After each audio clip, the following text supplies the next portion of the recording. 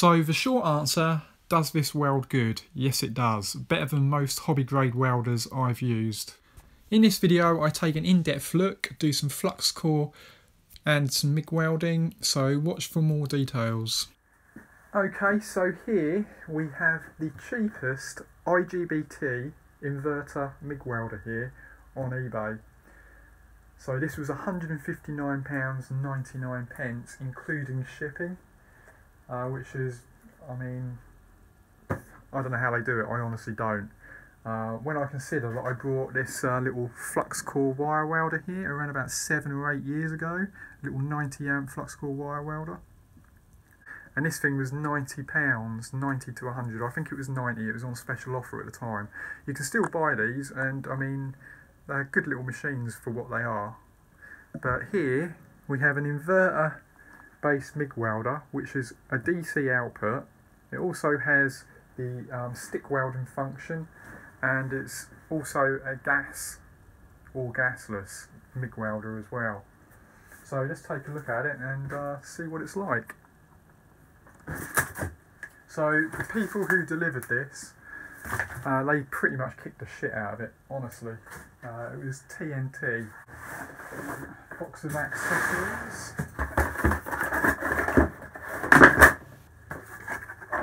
So you get a lovely welding mask.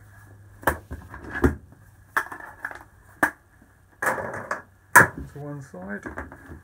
And you get your stick electrode holder which uh, I mean it's quite it's what does it say it's a 300 amp electro holder it's got a nice bit of copper in there looks pretty strong actually says Germany on there hmm don't know could it be made in Germany well the electro holder anyway uh, and then we've got uh, some cable on there which is just uh, 16 mil copper cable um, with the what are they now? Can't remember now. They're Dinse 1025s, so it's the smallest connector you can get. Obviously, at 159 pounds delivered, you're not going to get anything that decent, and you're probably getting about 1.5 to 2 meters at most. So you know the, how long it is. Yeah, 1.5. So 1.5 on the electro holder and then we've got the earth or ground here, which also is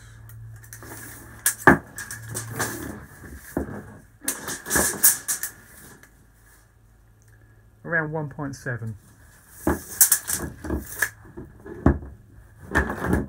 So obviously uh, you're probably going to need to replace these at some point or um, if you've got a piece of 16mm wire extend it with some uh, crimps or something. But I would probably suggest buying new wire. At the moment it seems to be quite cheap for some unknown reason 16mm welding wire.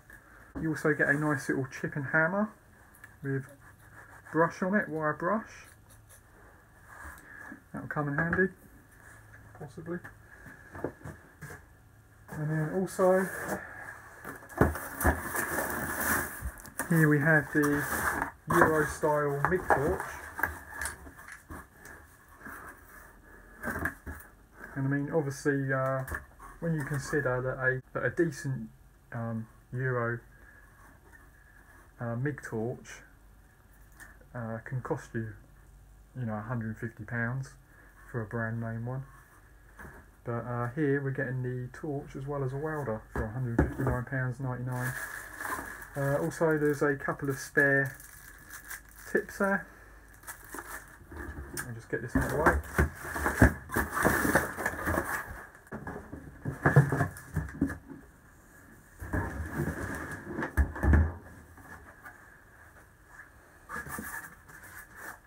Also there's a manual in there and as you can see in the bottom there it's the box has been pretty bashed and dropped because the welder has fell through the uh, cardboard box I mean it's not particularly well packed I wouldn't say you know it's not got a lot of padding in there It's got a reasonably thick walled cardboard box.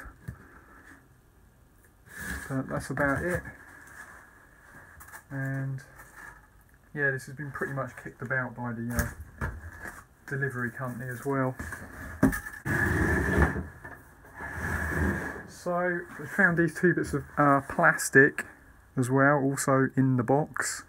So you can tell that it's been dropped. I mean, the box doesn't look particularly damaged, but uh, there are some, you know, like uh, bruises on the box.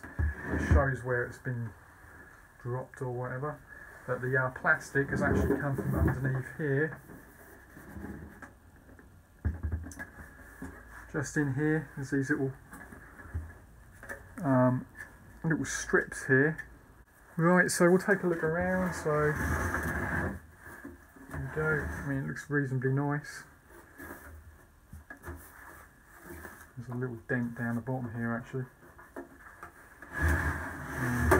There's a small dent up here as well, where the uh, either been screwed in too far, or it's been hit here. Um, there's the gas inlet for your argon CO2 or argon depending on what you're welding. Seems to be a 120 volt outlet there. I don't know what that's for.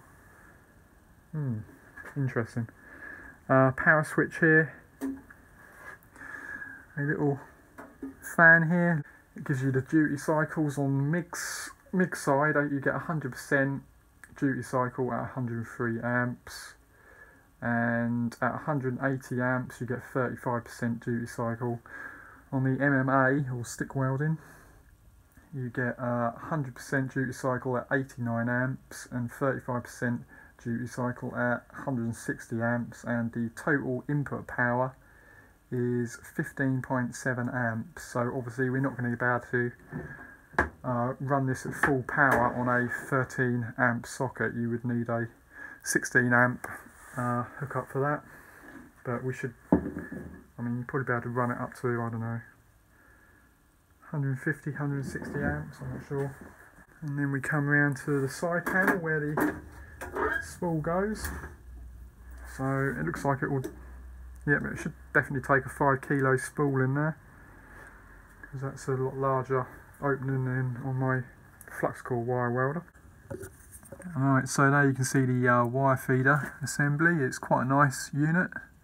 And I don't know if you can see down the back there, where the light is at the point at the moment, but there's rather beefy 1.5 amp 24 volt motor in there. And it's definitely larger than in my other two hobby grade welders, so it should be able to push the wire through consistently. The spool holder is all plastic it looks like with a threaded metal rod through the centre so should be quite durable. And then also up the back there you can see where you change the polarity it's quite a tight fit in here. And we come around to the front. Okay, so let's switch it on.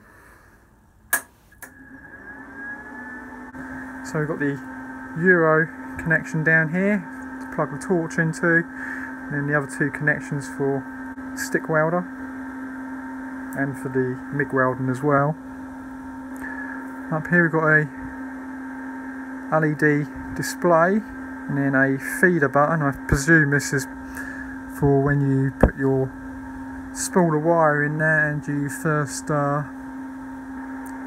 feed the spool through the gun. Usually I have these inside the side panel but obviously on this one it's on the front here. Up here we've got your MIG and stick welding switch here we've got a little LED here to tell us when it's overheated. Down here we have feed speed, wire speed. Nothing happens when you turn that, so. And then here we've got the current. Alright.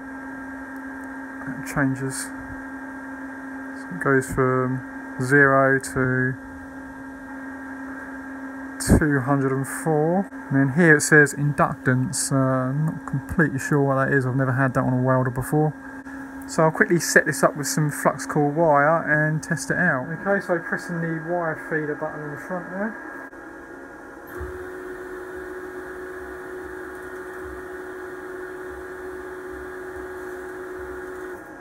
you go, wires through.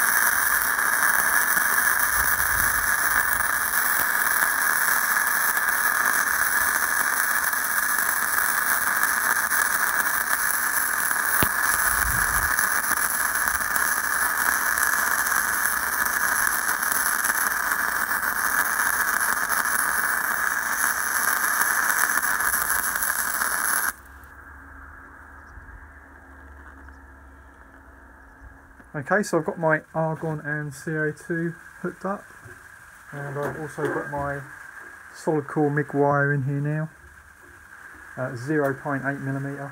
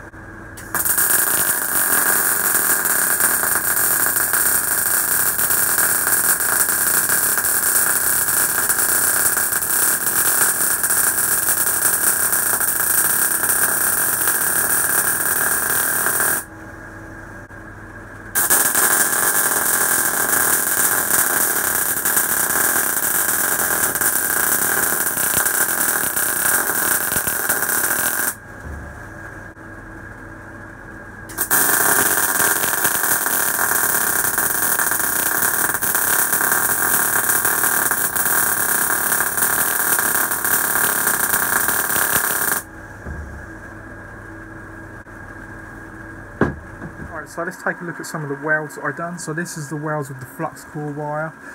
Now I don't pretend to be any good with flux core wire. Uh, I can never really see the puddle properly. So these are what I've done and I couldn't really get it dialed in properly because I hadn't had enough time with the machine. But they're not, I mean they're not overly bad. I mean as you can see there, it wasn't hot enough and I was, it's not too good. Uh, it's getting a little bit better here. And also here, these were getting slightly better, but nothing to write home about. Uh, ignore that, that's completely nothing to do with this welding. And so not particularly good on the flux core, but that's not the machine's fault, that's uh, my fault. So now we'll go over to the uh, solid core MIG wire, uh, which is where I'm a little bit better at. So these are the welds. Uh, these here was just where I was trying to set the machine and dial it in properly. Uh, so there's a couple of beads there which come out reasonably nice actually, not too bad at all. And there's a lap joint there which seems to come out reasonably good. Another one there, and a bead beside it. And, uh, not too bad, not the best, but not the worst either. So then I was starting to get the machine dialed in a bit better. So I come up with these worlds here, which aren't too bad at all.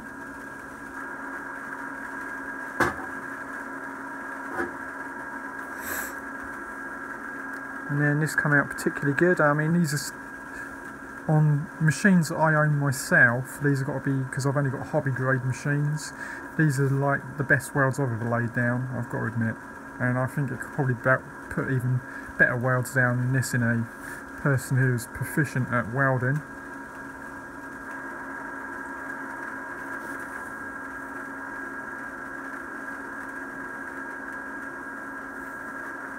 yeah, it's not too bad at all. So, I mean, I'm pretty happy with it, I've got to say. Uh, the welder, the machine is definitely better than the, than the welder anyway, I would say.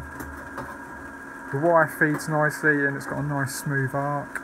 I may not have had it completely set up right because I'm not used to this machine. But, uh, yeah, I mean, it, it looks really decent for the money.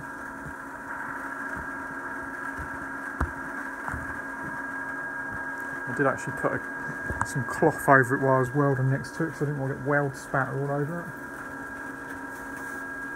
Yeah, I mean, so far, I mean, I'm presently pleasantly surprised with it. I've got to admit, and uh, also, I my gloves are a bit burnt up, so my finger was getting scorched, so that weren't helping.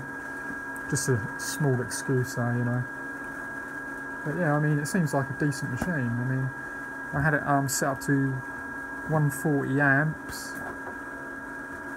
And I don't know, the wire isn't, it's not, it's got graduations on here and it's one, 0 to 10, so it's like on 7 or something, something around that area. The wire feed was. And the current, as I said, was 140 and the inductance So I just sat in the middle because I'm not really sure what effect that has on the weld so I thought if I stick it in the middle then you know 50-50 chance yeah so I mean if you're interested in getting one of these um, if you go onto eBay and search uh, IGBT inverter MIG welder uh, you're bound to find it because it's the only one that's £159.99 so I mean I can't really, you know, say the quality of the machine, how long it's going to last, and that. I don't know. It comes with a one-year warranty. I'm not, I'm not sure what that's worth. You know, I just took a chance on it pretty much, as I can't, couldn't really afford a six, seven hundred pounds welder. So I just, you know, took a chance, and we'll just see how it goes. If anything goes wrong with it, or I have any problems with it, I'll make another video in the future yeah, so I just want to say thanks for watching. Um, please comment down below and let me know what you think of this machine. Uh, what you think of my welding. No, don't. Nothing about the welding. Not, I know it's not very good. But uh, yeah, comment down below. Please subscribe, and then if I make any more videos on this, I'm probably going to make uh, a video on the stick welding side um, in the next couple of weeks and I'll probably be making some projects with it uh, like some rocket stoves and some other stuff so yeah thanks for watching and I'll see you next time bye